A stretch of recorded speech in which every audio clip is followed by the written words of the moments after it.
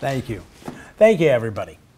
Today, I want to talk to you about small field digital radiography and why it really is in the best interest of your patients as well as your practice to perform small field radiography and minimize your patient's exposure to radiation. I want to do this a little bit differently today. Could I get some help in the back from the AV guy?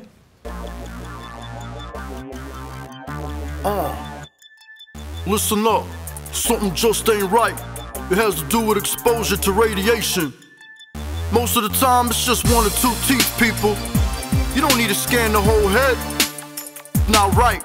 It's not good for patients. It's not good for the practice. Here we go.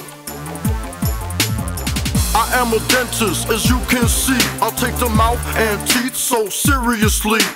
I love my patients, I wanna treat them right. So when I scan their teeth, I wanna keep it tight.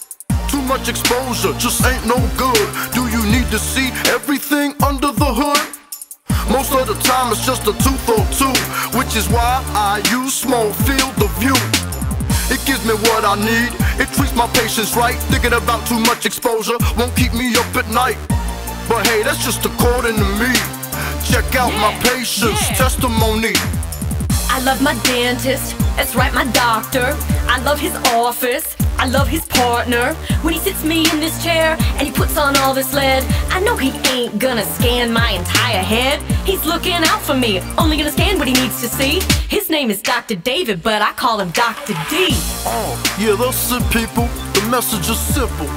Too much radiation, man, that ain't no good. It's not good for the patients, bad for the practice. Need that small field view. Check it out. He loves his patients and he does it right. When he scans your mouth, you know he keeps it tight. He's a dentist, as you can see. When he scans your mouth, he